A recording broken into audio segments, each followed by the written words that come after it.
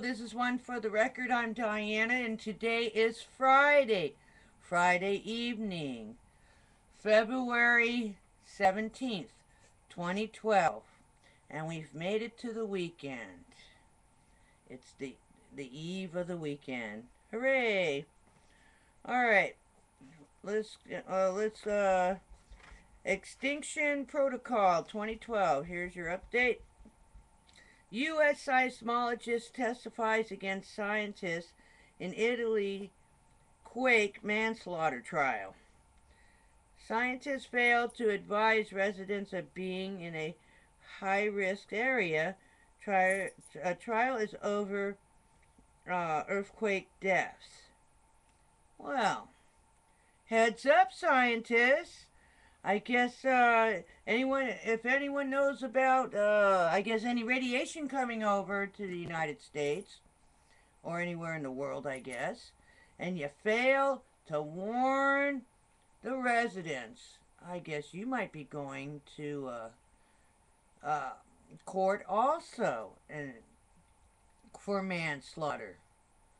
TEPCO, all of you. Hmm. That's what it, that's what it tells me. So heads up, scientists. You failed to warn people about the radiation or earthquake faults or whatever else is going on. I guess then uh, someone's going to be able to take you to court. Oh, that's funny. U.S. seismologist testifies against scientists in Italy. Well, just heads up, all you scientists, especially when it comes down to radiation. That's all I have to say. Russia says, here's a new one, Russia says it will use nuclear weapons if war broke out with NATO. Hmm. New study finds ingested nanoparticles more dangerous than previously thought in food and pharmaceuticals, billions uh, ingest, uh, billions of nanoparticles are ingested by humans daily, and this is a Cornell research. They're finding out it's not, not good for you anymore. Oh, you think? SOTT.net Saturn's rotation observed to slow down. Instrumental error ruled out. So everything is going on the slow-mo.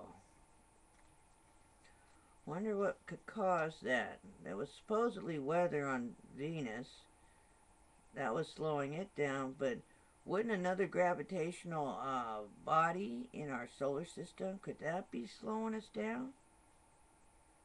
Might be. I guess it's that Nibiru theory, maybe. Uh, Mary, uh, Maryland, U, U.S. Hundreds of dead birds on I-95 in Laurel. And it was starlings this time all over the, the highway. So we still have dead birds uh, dropping out of the sky, along with the dolphins and everything else. Okay, then I went on to uh, Paul Begley's channel. And he had on there, woman catches Legionnaire's disease at dental office. and this was in Italy. And it was from the water lines in the dental office. So, uh, heads up on that. I guess it's not just from air conditioning units and stuff like that now. It's hanging out in the little, uh, the little sink water thing, stuff in the dental office. Well, at least in Italy it is. My goodness. Also, he had on his uh, channel uh, Obamacare. What's it say? Oh, it's March 23rd, 2013. 666 microchip implant, the RFID chip. And he's he's saying that on page HR 3200, page 1004 of the Obamacare uh,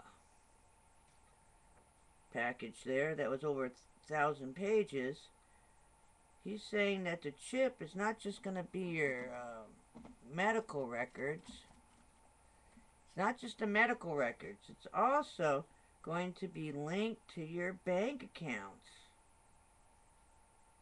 Huh. Well, for some reason, your bank accounts and social security number and everything's going to be in that RFID chip. And supposedly it's going to be go into effect, he's saying, March 23rd, 2013. Well, I guess that gives you about a year to save up enough money to have a bank account now. oh, and I guess it has GPS. So I guess just like with the animal shelter, I guess what you do to your dog or cat, I guess they're going to be doing it to us.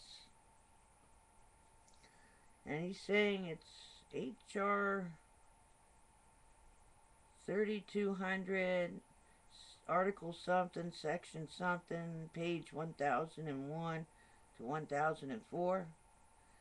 Not sure, but I I put a few favorites up there with the birds and Paul Begley.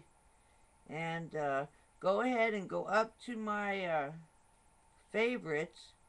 Click on that. And it's kind of, you know, I, I, I favored some videos. So, well, everybody have a wonderful weekend. Have a wonderful rest of the Friday night, the eve of the weekend. And uh, I'll see you again tomorrow. Have a great night.